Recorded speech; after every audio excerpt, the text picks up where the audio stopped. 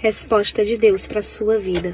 E ele diz assim: Filho, fica calmo. Eu tenho preparado coisas melhores para a sua vida. Em silêncio, eu tenho cuidado do seu coração e tenho tratado todas as feridas que deixaram aí. Confie nos meus planos para a sua vida. Eu sei o que é melhor para você. Eu sei o que vai dar certo na tua vida. Por isso não chora e não atribula o teu coração. Quando você quer tanto algo que não dá certo, isso não significa que foi um erro. Isso significa que eu estou no controle da tua vida. E eu tenho te dado grandes livramentos, porque eu vejo além de ti.